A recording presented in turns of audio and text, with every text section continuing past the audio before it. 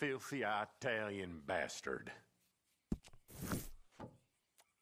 You're getting to be capable, my friend. That's dangerous. Might start getting ideas. Ideas like you don't need old Joe no more. Might well cut him out and cut him up, huh?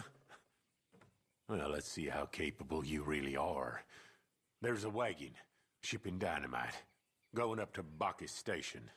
Crew's been moving some of your capitale, too. You don't blow yourself up, you'll get a good price for it. Little reminder how you can't be doing without Joe anytime soon.